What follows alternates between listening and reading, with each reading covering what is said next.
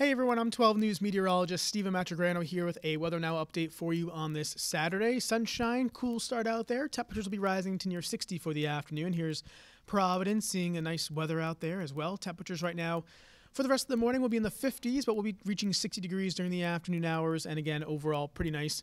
However, there is a red flag warning issued for the entire area until 6 p.m.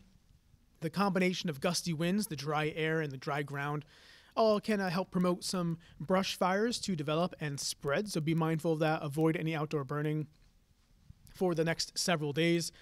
Our drought update showing a moderate drought across a good chunk of the area, but also seeing some severe drought levels there in parts of northern Providence and northern Bristol counties and then abnormally dry conditions being found across uh, southeastern Massachusetts and parts of uh, Newport County as well. So radar is quiet, not tracking any rainfall for today. We're staying dry the rest of the morning hours, seeing temperatures rising mid and upper 50s again as we approach the uh, midday time frame in the afternoon. Topping out in the upper 50s to near 60 degrees with lots of sunshine expected. Breezy conditions do continue as well.